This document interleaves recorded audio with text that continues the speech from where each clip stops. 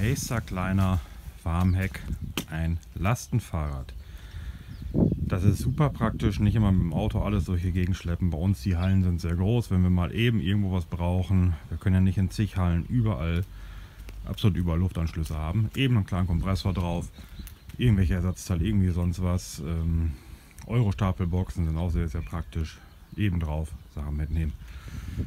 Fertig. Ja, das mit dem Lastenfahrrad macht natürlich nur da Sinn, wo die Betriebsflächen groß sind, die Entfernung und es eben ist und man fahren kann.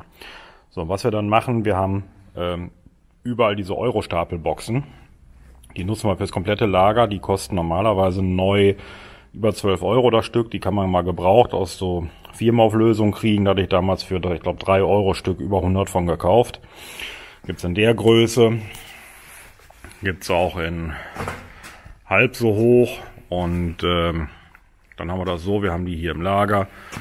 Alles beschriftet, was im jeweiligen Regal drin ist. Und äh, dann haben wir diese Kisten. Wenn wir irgendwo irgendwie was brauchen, können wir problemlos bis zu vier Teile davon vorne auf das Lastenfahrrad drauf. Das ist total praktisch. Man hat endlich alles organisiert alles durchbeschriftet vor allem, ähm, weil wir haben ja sehr, sehr häufig Erntehilfen, Praktikanten etc.